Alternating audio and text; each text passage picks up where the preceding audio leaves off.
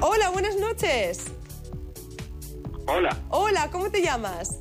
Gustavo. Gustavo, vamos a ver, Gustavo, dime una palabra que contenga ZA. Embalsamiento. ¿Cómo? Embalsamiento.